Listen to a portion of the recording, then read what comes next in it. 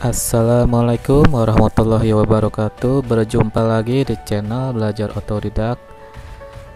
Kali ini ada handphone uh, Asus T001 atau Zenfone 4 Dengan kondisi casan uh, lubang casan sudah jebol coba kita buka dulu uh, rem tengahnya. Buka semua bautnya.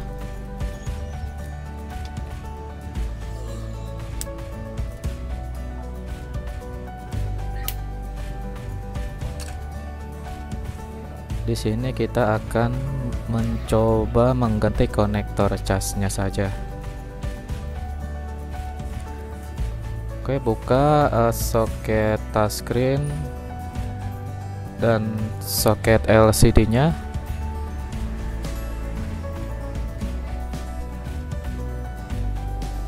dan juga itu soket vibratornya.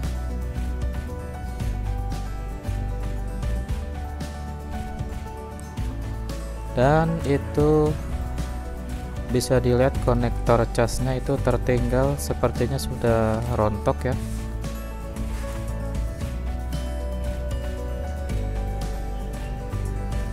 Uh, solderannya sudah tidak menempel. Dan untungnya jalurnya itu masih aman ya tidak ada kaki-kaki yang terkelupas. Jadi kita tinggal uh, mengangkat sisa-sisa timah yang tertinggal itu. Jadi ya tidak perlu pakai blower ya kalau uh, sudah jebol begini.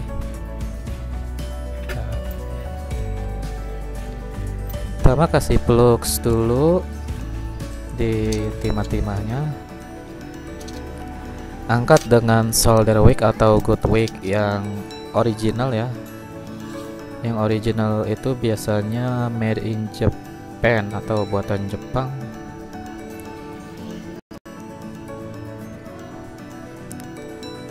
Goodwick ini kalau yang ori ini sekitar 33.500 ya.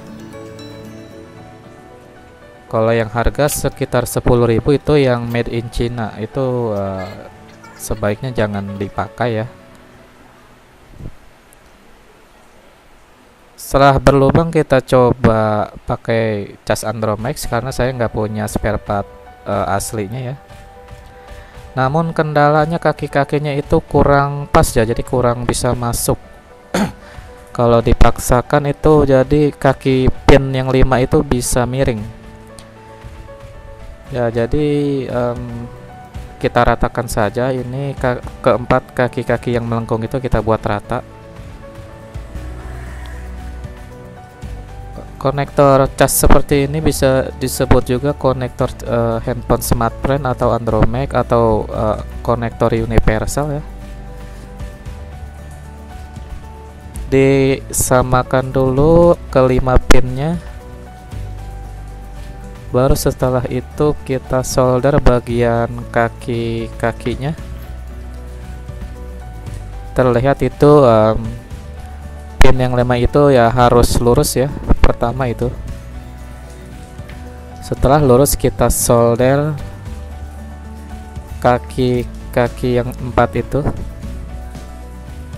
Pertama kita solder satu dulu biar agak menempel terus secara zigzag itu biar um, tidak goyang.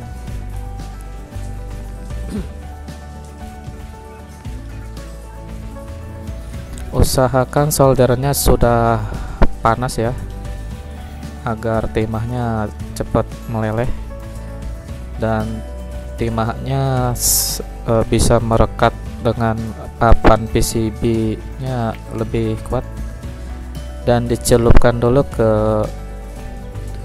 uh, flux ya. Setelah itu kelima pinnya kita solder agar tidak menempel kita celupkan di blok dulu timahnya.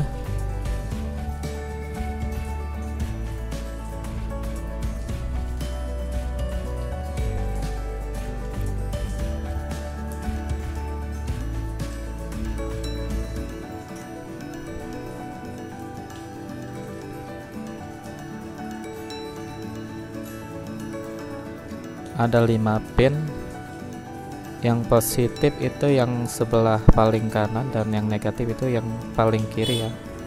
Jadi utamakan yang dua itu dulu terus yang tiga sisanya.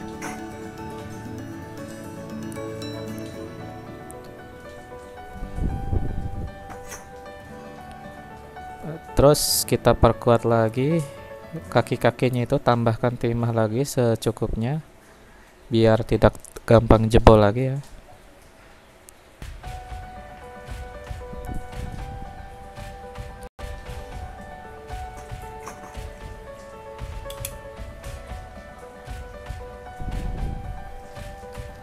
sudah selesai setelah itu dibersihkan pakai tisu atau sikat ya.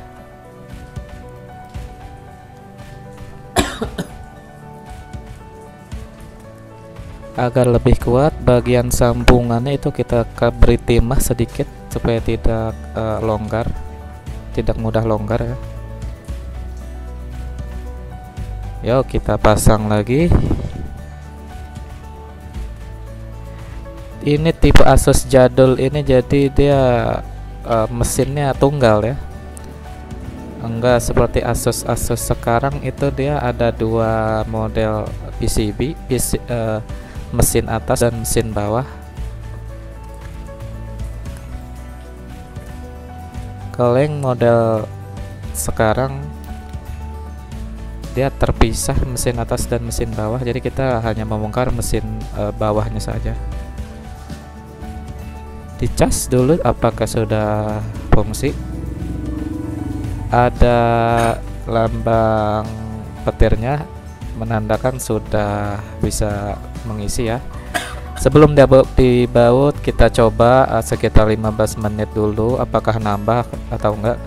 Kalau sudah dipastikan bertambah ya kita baut semua